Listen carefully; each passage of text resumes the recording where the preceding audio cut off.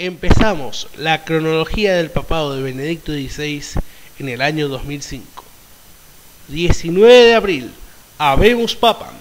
La Iglesia Católica ya tenía nuevo guía, José Alois Ratzinger, bajo el nombre papal de Benedicto XVI.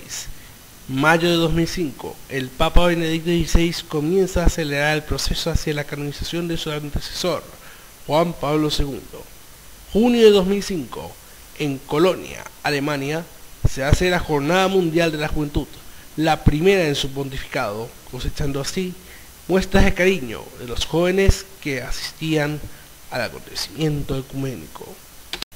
En el 2006, en ese año, Benedicto XVI llamó la atención de medios mundiales porque ciertos sectores islamistas han malinterpretado sus palabras que decía un antiguo emperador, Manuel II Paleólogo, en los años de la cristianización de Roma.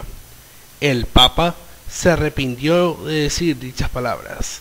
También en ese año se lanza su primera encíclica, Deus Caritas Est, Dios es amor.